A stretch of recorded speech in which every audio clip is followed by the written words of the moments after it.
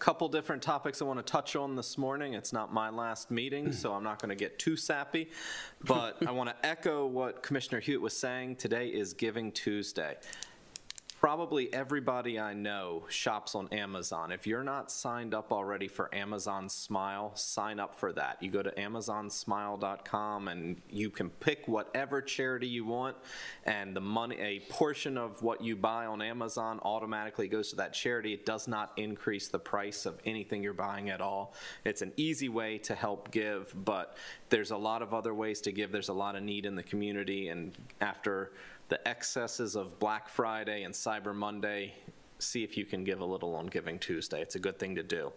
I also want to touch on something that happened recently that didn't, it got some attention, but not as much attention as I think it deserves. Kennedy Krieger Institute is opening a new branch in St. Mary's County at the University System of Maryland at the Higher Ed Center there. They're taking over Building 1 there. They're going to be renting that. This is a huge deal for our county. For we are required by law, like we should be, to provide an education for every child. Some children we are incapable of providing it in-house in our county, and they go to Kennedy Krieger in order to get the specialized services that they need, and they sit on a bus for two hours to get to Baltimore. Senator Jack Bailey was able to get a location in southern Maryland, and then he helped to facilitate that location being in St. Mary's County. Huge thank you to our senator. It is a big win for our county. It is a really good thing, so I'm excited to see that happen.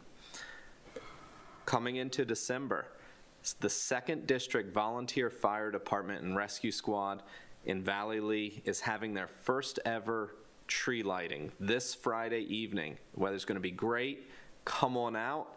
6 to 8 p.m. They're going to have a fun time. There's going to be a lot to do there. It's going to be really good and a good organization to support. So if you're looking for something to do on Friday evening, come out and join them there.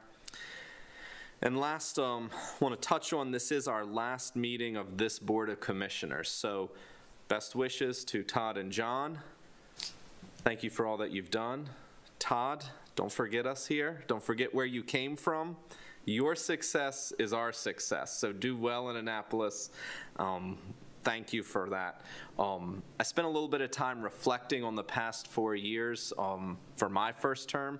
It, it's, uh, it's a whirlwind. It's incredible that it's flown by so quickly, and we have a lot to show for it. Um, this was a difficult time everywhere over the past four years with COVID, with everything that happened.